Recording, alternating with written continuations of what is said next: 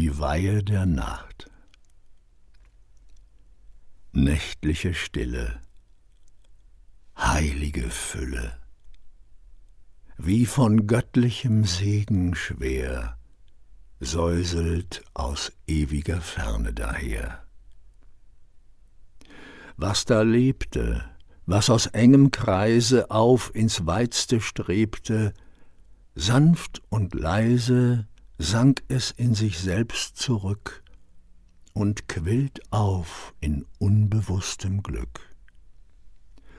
Und von allen Sternen nieder strömt ein wunderbarer Segen, dass die müden Kräfte wieder sich in neuer Frische regen, und aus seinen Finsternissen tritt der Herr, soweit er kann, und die Fäden, die zerrissen, knüpft er alle wieder an.